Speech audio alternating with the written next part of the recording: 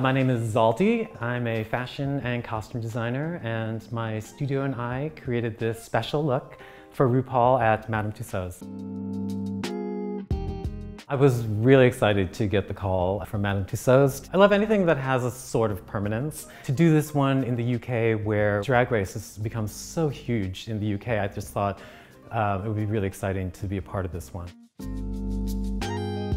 In the work that I do with Ru, it's really special and iconic because each piece is built specifically for a moment. That sort of lends itself to permanence um, and not sort of like a disposable, I'm borrowing a dress, I'm gonna put it on, and it doesn't actually have any real warmth or resonance with the person, it just looks really good. This one being created for Ru and for Tussauds for this specific room. It's full of all the emotions and uh, the joy and the happiness that comes when we make these things for Ru. I met Ru early in the Club Kid era, you know, so I guess it was in the 80s. We just met at out at a nightclub, you know. And I was, I just said, you know, like, oh wow, you're RuPaul. I was like, you wore that same outfit yesterday. and she was just like, and she said, when it works, it always works. And I was, I've always remembered that. My boyfriend at the time, Matthew Anderson, who created the makeup and the hair looks for Ru in the beginning, um, and Ru was like, oh, will you guys be my um, stylist? You know, and like style me, I'm, I'm getting this record deal. And we weren't really sure what that, you know, like we're like, oh God, we're only making clothes for ourselves. so like we didn't know, but then we are just like, well, let's do this. You know, like let's have fun and like see where it goes. And then it just like hasn't stopped since then. Like I don't even know what year Supermodel is, but I think it's gonna be 93. And uh, so I've been working with Ru for almost 30, no, 30 years. When I start a project, um, it can vary just depending on what is needed. With the Tussauds one, you know, like you're, you think like, oh wow, this isn't Ru the, in the flesh. So wow, we don't have to have a corset on, we don't have to have any of these things on. But the more I started looking at it, and the more I started thinking of like where we've gone with Ru and the thousands of dresses we've made uh, for the show, I was like, I think it should be in true style of what and how we produce Ru's costumes for the show. So it has the big zipper in the back, it's, it's, built with stretch in it underneath.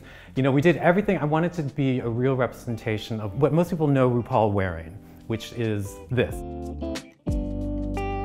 So with this one, I felt, let's cover it and cover every part that we would with Ru. Let's make it exactly this glamorous statement that Ru would want to wear. Like, let's make it big.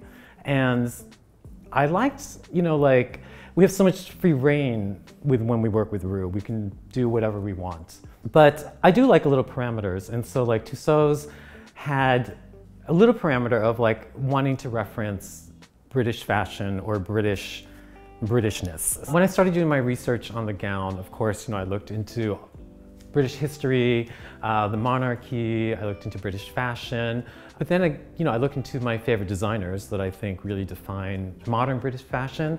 So I was looking at Vivienne Westwood, I was looking at John Galliano, definitely the ones that are really the exuberant sort of entertainer um, designers and uh, something about the scale, they all know how to achieve a scale on a human body that's sort of like larger than life. So definitely Westwood is in there, especially uh, looking at her like couture gowns that she used to do, huge, beautiful, beautiful pieces.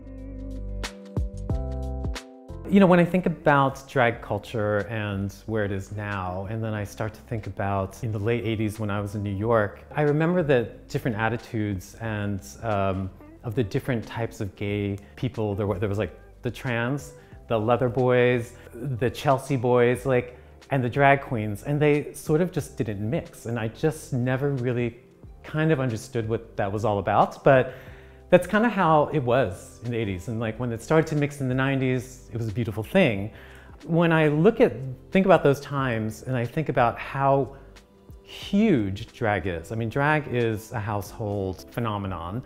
And um, I didn't think back then it was gonna go there. I knew that when I met Ru and started working with Ru, that Ru was a very political minded artist and that whatever Ru was gonna do was gonna sort of change the course.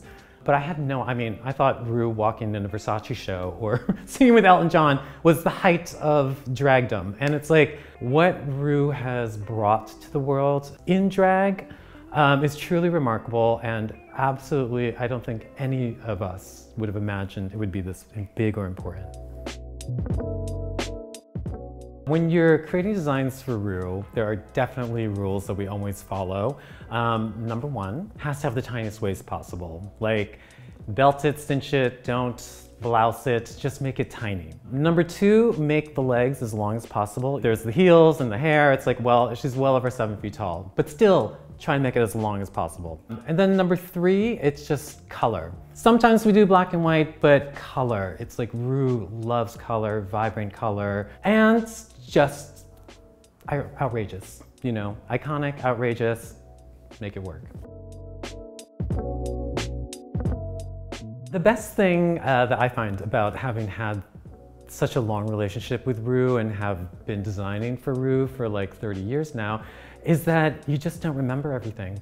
We film the shows a year in advance. So by the time they're airing, we're already working on next year's show. It's just like fashion. And so like, it happens all the time where I'm in an interview and they're like, tell me your favorite look from this season. And I'm just like, I have no idea. I have no idea. There's too many shows.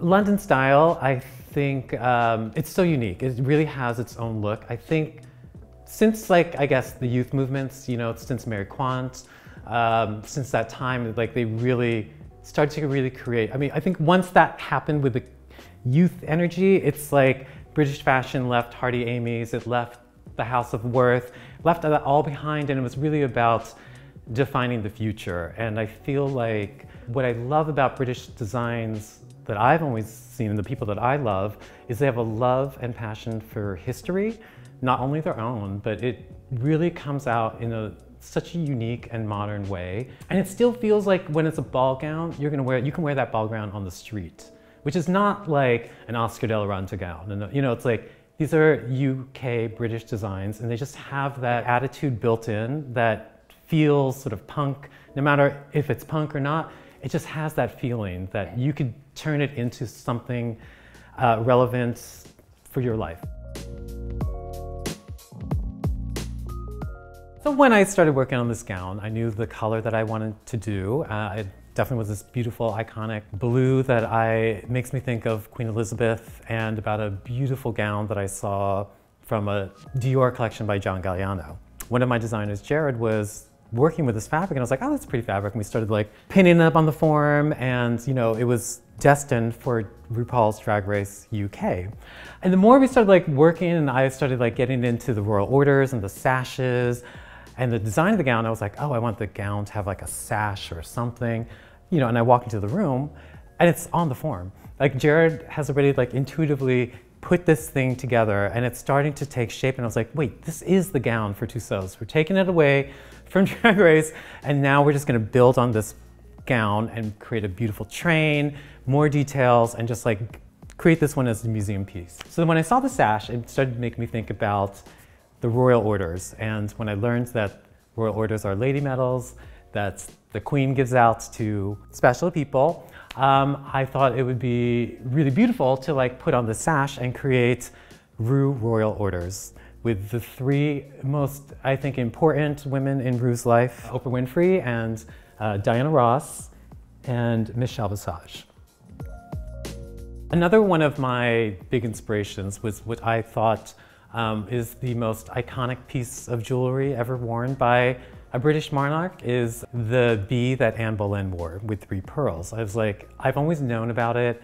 When I was a kid, I just didn't really know that that was Anne Boleyn wearing this necklace. And I thought, as I was looking at the RuPaul logo, I was like, R, B, R, B. Let's like merge these. Let's put, take that Ru R, add a serif, and like, let's create earrings and not a necklace because Ru doesn't like to wear necklaces normally, um, but loves big earrings. So then I created this earring, which at first I was gonna do in a much more complicated way, and I had a sample cut in mirror, and somehow the mirror just seemed to work for me. And I went that way instead. I think that how you present yourself to the world, whether it's with fashion or with style, it's really the highest form of self-expression that you can present to the world uh, without saying anything.